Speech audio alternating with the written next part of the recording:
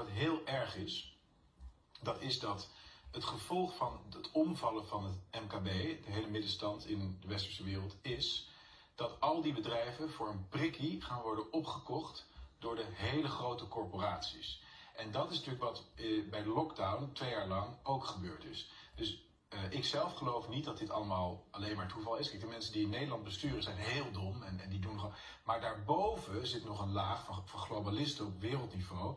En die zijn heel erg slim. En die hebben ongeveer alle welvaart in handen. En wat die nu aan het doen zijn, is de hele economie kapot maken met hun lakeien, Rutte en Kagen, die doen gewoon wat zij willen doen. Want je ook in alle landen gebeurt hetzelfde. Frankrijk, Duitsland, Engeland, overal gebeurt hetzelfde. Dat komt omdat het gecoördineerd wordt van bovenaf, net met corona.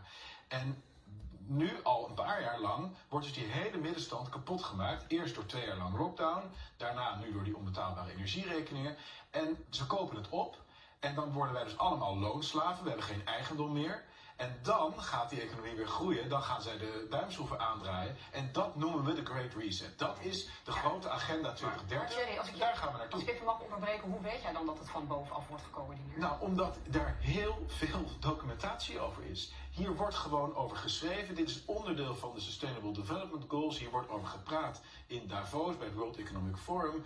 People will nothing, but they will be happy. Dat is de hele gedachte erachter. De grote corporaties die komen bij elkaar en die maken plannen hoe zij de wereld onderling kunnen gaan verdelen. Maar Renette, you own nothing, you'll be happy. Die ondernemers zijn niet echt vrolijk. Uh, jouw reactie hierop? Nee, nee, die zijn niet vrolijk. Uh, ik, ik heb dat lang heb ik een beetje een complottheorie gevonden. Maar de koning heeft het nu gewoon in zijn troonrede gezegd. Hè? Ik weet niet of je goed geluisterd he hebt. Maar hij zei, we lopen tegen economische, sociale en ecologische grenzen aan. En daarom moeten we een andere manier hebben van wonen, werken, leven, van, van arbeid, van alles. En uh, vervolgens begint hij over dat het kabinet een agenda tot 2030 heeft uitgerold. Hij zegt dat letterlijk in zijn troonrede. Dus het is niet eens een complot meer.